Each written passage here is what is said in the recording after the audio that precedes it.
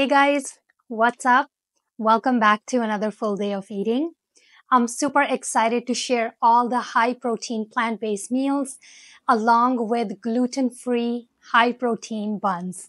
I know you guys have been waiting for this recipe and I am super excited to share this with you. In terms of protein of these buns, they are not going to be as high in protein as my seitan buns were, but they are still pretty decent in my opinion. Each serving of bun will give you approximately 11 grams of protein, so that can really help you boost up your overall protein intake as a vegan.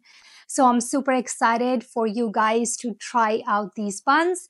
I have tested many, many recipes to get these buns high in protein and still tasting pretty good. Honestly, I probably went through five or six different variations of these buns. Some of them were okay.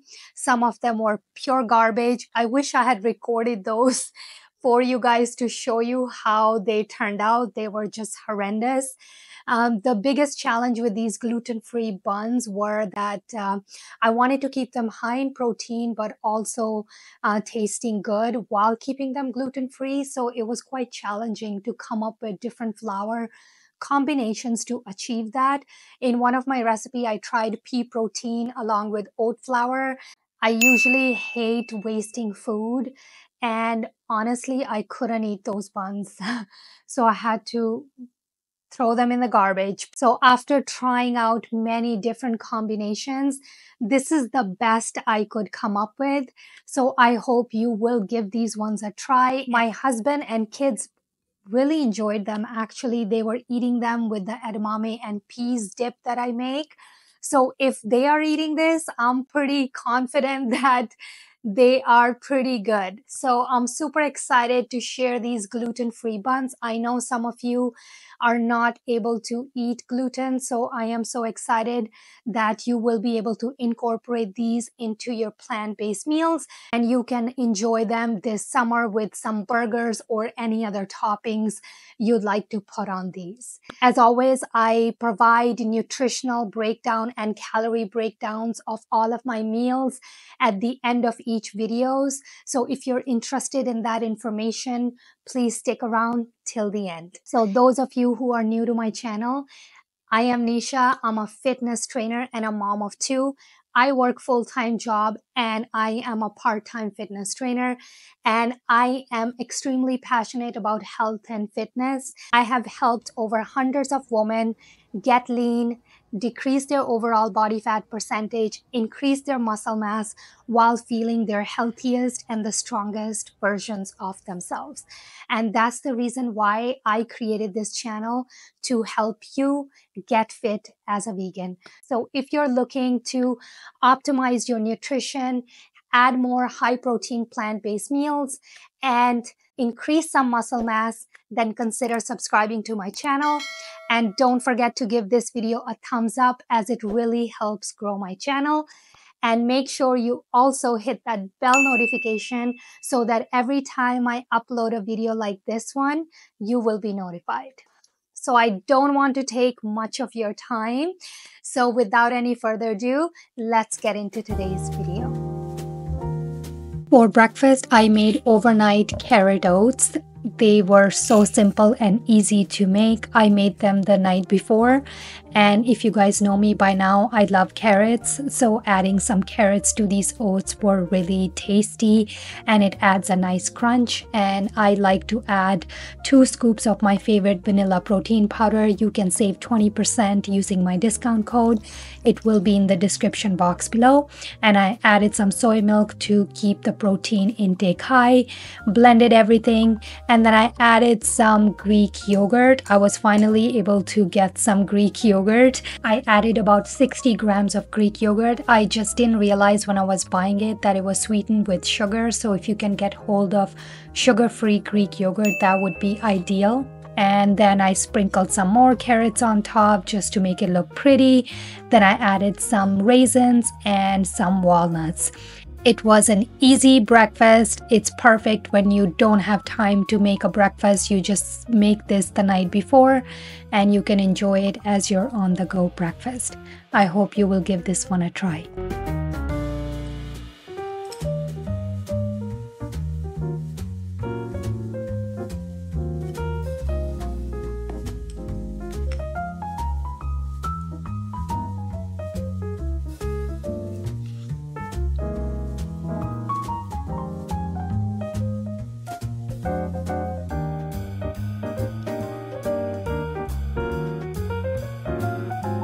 All right, for lunch, I'm keeping it super simple. I made this wrap, and for these wraps, you don't need to do any cooking. You just chop up whatever veggies you want to put in the wrap.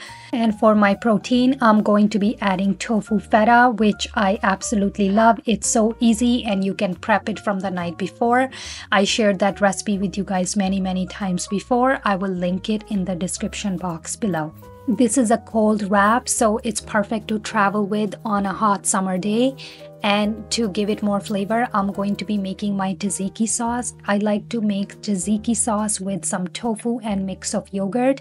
I don't like the taste of yogurt 100%, so I like to mix in some um, extra firm tofu. Plus, it also adds um, more protein and the taste is pretty good. I will leave all the details in the description box below.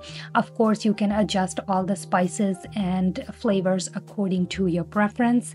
I made two versions of this wrap. One wrap is high in protein that has 10 grams of protein. That wrap tastes really good if you eat it right away. But if you're going to be traveling with that wrap, it's not ideal because it tends to get soggy. So I will show you a second version of this meal where I'm using Dempster whole grain wrap. That wrap holds up really well with this sauce and it doesn't get as soggy.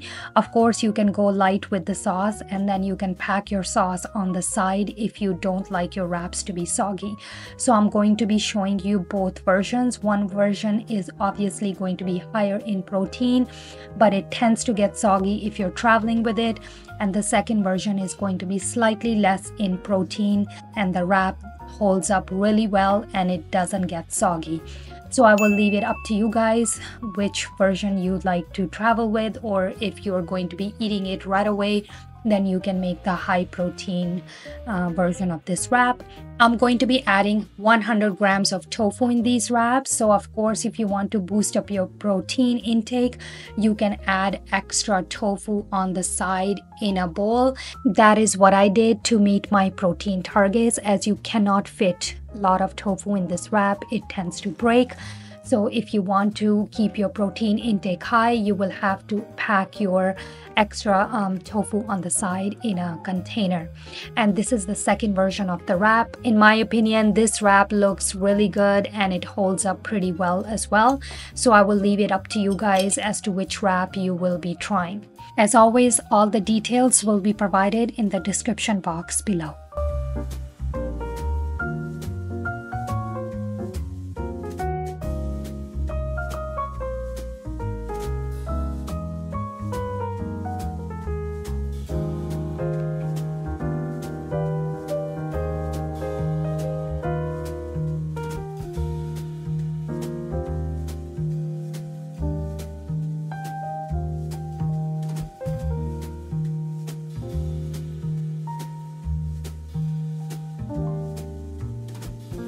For dessert, I made these vanilla ice cream with tofu. I have been craving this McDonald McFlurry for a while, so I wanted to recreate that at home but of course vegan version so i made some vanilla ice cream i added some cashew to this to give it some creamy texture and then next morning i spinned it and I added some Oreo cookie as an add-on. If you have been craving McDonald's McFlurry, I highly recommend this ice cream. It turned out so creamy and delicious. The vanilla flavor was just on spot and the creaminess was just so good.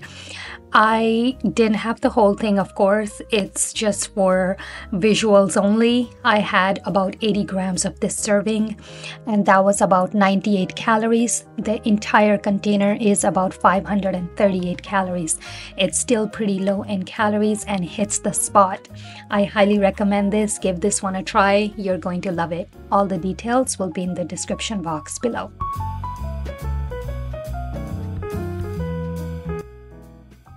All right, let's get into our gluten-free buns for dinner. I added 200 grams of extra firm silken tofu with some soy milk as my wet ingredients and I blended that and I kept that aside. And then for dry ingredients, we're going to use lupini flour. I found this on Amazon. It was pretty expensive, but then later on when I went to Bulk Barn, I noticed they had cheaper version. So use lupini flour from Bulk Barn. Lupini flour tends to be a little bit bitter. So to offset that, we're going to have to add some sugar to this dough. And then I'm going to add some psyllium husk.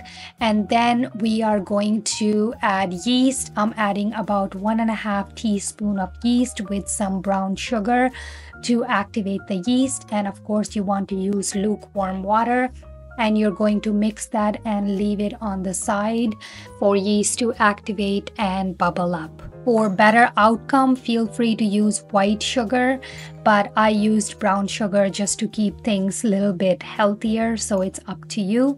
So you're going to mix that and keep that aside, and then we're going to now add our dry ingredients. So I am using various blends of flours here. They're all gluten-free. To make it high protein, I used lupini flour, then I used some oat flour, rice flour and then we're going to add psyllium husk in there and then we're going to add some nutritional yeast to boost up the protein.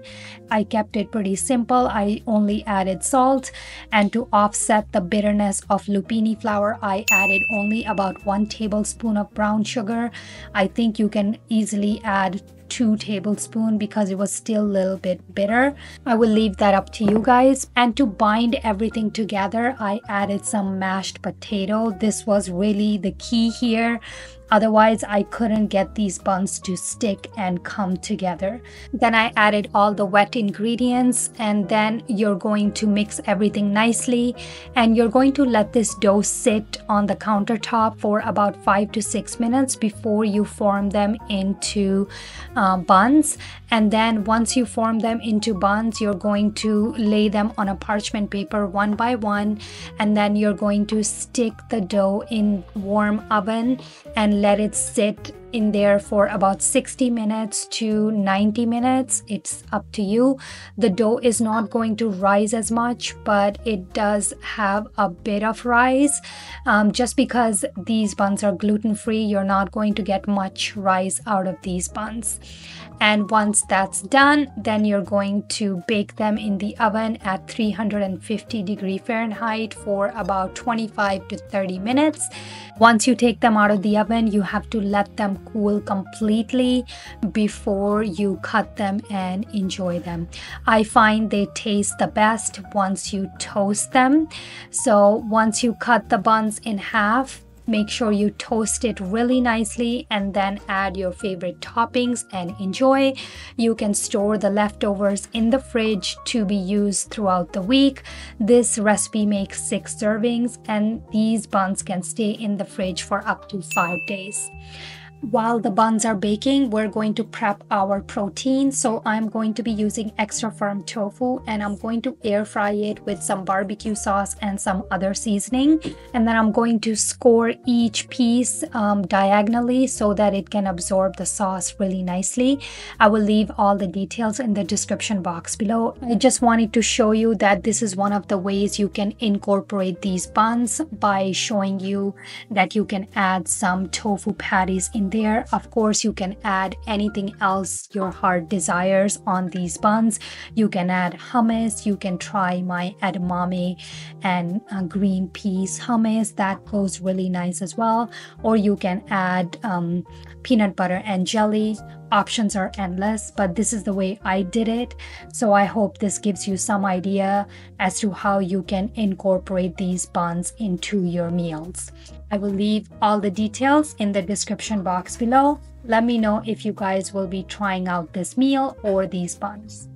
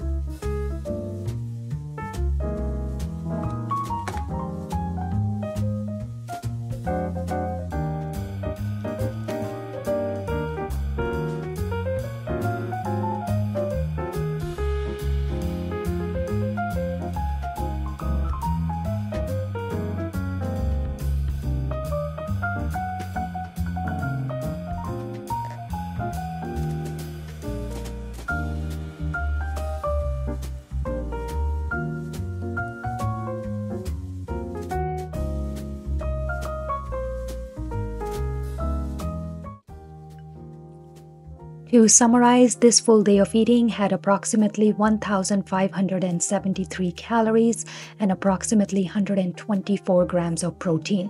All the macronutrients were met for the day. I supplement with vitamin D, multivitamin, and creatine. There you go, guys. This is the end of today's video. I hope all the meals that I've shared here today gave you some meal inspo as to what you can eat as a high protein plant based vegan. If you guys would like me to come up with any other recipes, let me know in the comments below and I will try my best to include them on my next video. Thank you so much for watching. Don't forget to give this video a thumbs up and subscribe to my channel for more content like this. I hope you all have a lovely day and I'll see you guys very soon on my next one. Bye.